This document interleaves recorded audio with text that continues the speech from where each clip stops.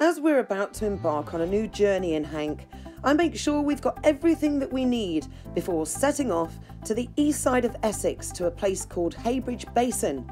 The destination is a pub on the water's edge called the Jolly Sailor.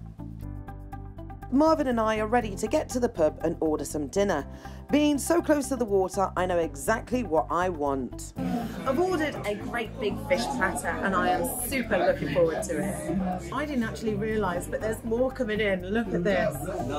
I didn't realise just how much food Marvin and I was going to have to get through.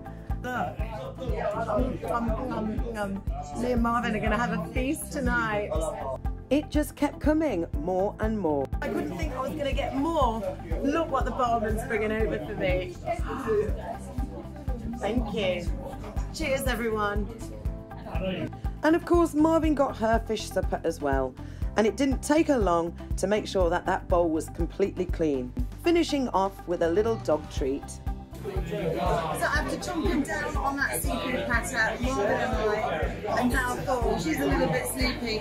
I'm going to finish this off and now I think it's time to try the real ales. With a variety of drinks at the bar, it didn't take me long to find the local ale of Maldon Gold. See what it tastes like. Oh, that's nice. Oh, I can tell it's going to be one of those nights tonight. I think I'm probably going to have a sore head in the morning. As the night went on, Marvin got to meet a lot of the locals and also pub landlady Victoria, who had a chat with us, not before getting a snog from Marvin. Hi, my name's Vicky. I'm the owner of the Jolly Sailor, Heybridge Basin. We have motorhome stay, um, occasionally uh, through the week and at the weekends. We've got accommodation for about three motorhomes really lovely walks. Uh, you've got some great views over the river and over the estuary. We do allow dogs, yeah. As it came to closing time, Marvin and I decided we really liked this place. It was a perfect place to come to, especially after a great walk. With a happy tale, it was time to head back to get some sleep for tomorrow's day out. As we arrived at night, we didn't get chance to see the full glory of the water surrounding us but I'm sure it's going to be a different story in daylight. And it certainly is. The tranquility of the water and boats makes this a perfect haven for peace and quiet. But let's get up and get some breakfast before we start our day and our new adventure. As we leave Hank, we notice the back garden of the Jolly Sailor, a beautiful decking area perfect for families, plenty of space, and enough room for barbecues. Let's take you back inside the pub and speak to one of the locals and find out what they think about motorhomers coming to the area. I met with Brenda, who lives local. I'm part of the local ladies charity rowing team. Uh, we also run a dog show on an annual basis. We have up to about 80 or so dogs each each year that come in a motorhome, uh, camper van. That's absolutely fine. They can come in and join in the fun. I love the fact that even though we don't live nearby, we can still participate and join in the fun. As soon as I tell Marvin this, she starts getting ready and practices her poses. Beautiful, Marvin. But come on, it's time for breakfast now. Cool, look at that. Marvin sat there dribbling all over my leg.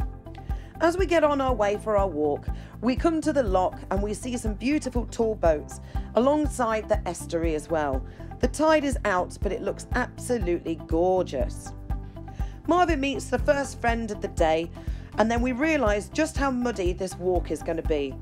It's a good job I brought my wellies, but I don't know how I'm going to keep this one clean. As the day goes on, Marvin meets lots more friends. She's thoroughly enjoying herself, but it's time to get over to the canal. We come across a clearing on the left hand side called Maria's Garden with full size animals for all the family to look at. The views around the area are just absolutely breathtaking. I just wish it had been more sunny on the day. As we look around, we come to a signpost that states Osea, so we know that we're close to Osea Island. Marvin and I taking all the views of the island. It's absolutely lovely. I'm looking forward to coming back, and I haven't even left yet. As we absorb all the character of this quaint little town, I realise I've got to get back, shower, and back on the road. So after a long walk, it's time for a shower. You can't come in.